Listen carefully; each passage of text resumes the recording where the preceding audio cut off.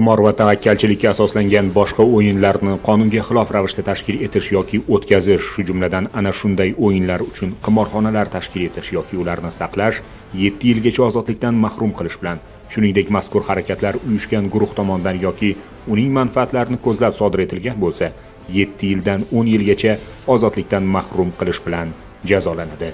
Afsuski qonunda ham muqaddas dinimizda ham qat'iyan man etilgan ushbu illatni moddiy manfaat evaziga tashkil etayotganlar hamon oramizda uchrab turibdi. Joriy yilning 12 sentyabr kuni andijon viloyati ichki ishlar boshqarmasi tezkor qidiruv xizmati uyushgan jinoyatchilikka qarshi kurashish bo'limi hamda oltinko'l tumani ichki ishlar bo'limi tezkor xodimlari tomonidan oltinko'l tumanida tezkor tadbir o'tkazildi.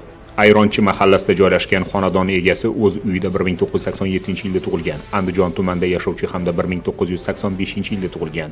Oltinko'l tumanida yashovchi shaxslar bilan moddiy manfaat evaziga fuqarolarga tavakkalchilikka asoslangan qimor o'yinlari o'ynash uchun sharoit yaratib berganligi aniqlandi.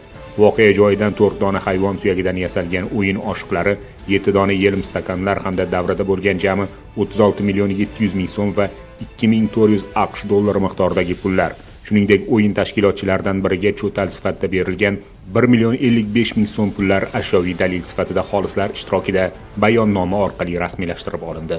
Tadbir davomida xonadon egasi 2 nafar tashkilotchi va 7 nafar ishtirokchilar qo'lga olinib holat yuzasidan o'zbekiston respublikasi jinoyat kodeksining tegishli moddasi bilan jinoyat ishi qo'zg'atilib tergov harakatlari olib borilmoqda.